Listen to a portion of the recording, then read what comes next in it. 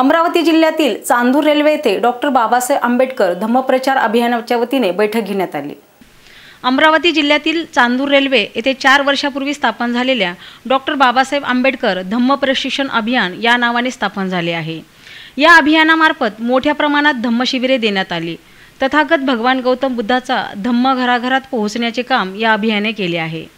कामाचा लेखाजोखा घेण्यासाठी एक दिवसीय बैठकीचे आयोजन चांदूर रेल्वे शासकीय निवासस्थान येथे करण्यात आले होते.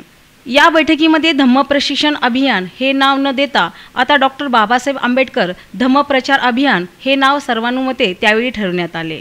सदर बैठकीला या अभियानाचे संचालक सुनील बगाडे पूज्यभंते धम्मसेन भारत वाघमारे बंडू आठवले वसंत दहाट बोरकर भारत वनकर आदी मान्यवर या बैठकीला उपस्थित होते.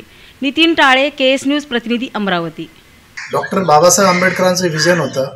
बाबासाहेबांची दूरदृष्टी होती की मी जो हा आपल्याला धम्म देत आहे हा शहरापर्यंत मर्यादेपर्यंत मी नेला आहे परंतु खेड्यापाड्यापर्यंत मला पोचवायचा आहे तर तेच बाबासाहेबाचं विजन घेऊन बाबासाहेबाची दुर्दृष्टी घेऊन आम्ही ह्या अभियानाचे अ, पूज्य बनते धम्मसेन तसेच या अभियानाचे सर्व पदाधिकारी आम्ही हे विजन घेऊन बाबासाहेबांचं प्रत्येक खेड्यापाड्यामध्ये जिथं दोन घरी जर दोन घरं जरी आपले एका गावामध्ये असेल त्या त्या ठिकाणी आपल्याच माणसाला नव्हे तर इतर समाजामध्ये सुद्धा आपल्याला हे धम्माचं कार्य करायचं आहे आणि बाबासाहेबांचं जे विजन आहे बाबासाहेबांचे स्वप्न आहे धम्माचा प्रचार आणि प्रसार खेड्यापर्यंत पोचला पाहिजे.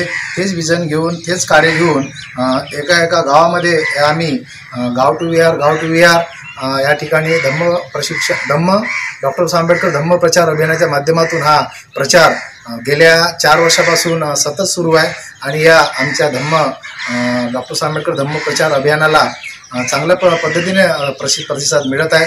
आणि भविष्यामध्ये आम्हाला संपूर्ण महाराष्ट्रामध्ये हे डॉक्टर बाबासाहेब आंबेडकर धम्मप्रचार अभियान याच्या माध्यमातून अनेक असे कार्यक्रम जसे एक दिवसीय धम्म प्रशिक्षण शिबिर तीन दिवसीय धम्म प्रशिक्षण शिबिर जसं पाच दिवसीय धम्म प्रशिक्षण शिबिर असे शिबिरं राबवून त्यामध्ये आपल्याला पालीच्या कार्यशाळा जे पाली भाषेमध्ये आपला आपण जे वंदना वगैरे घेतो आपण ज्या गाथा म्हणतो परंतु आपल्याला व्यवहारामध्ये पाली कशी बोलवता येईल याचे सुद्धा या ठिकाणी आपल्या धम्म डॉक्टर आंबेडकर धम्म प्रचार अभियान याच्या माध्यमातून आदरणीय आयुष्यमान वनकर साहेब हे या आमच्या अभियानामध्ये पालीचा विषय घेऊन चांगले मार्गदर्शन करतील.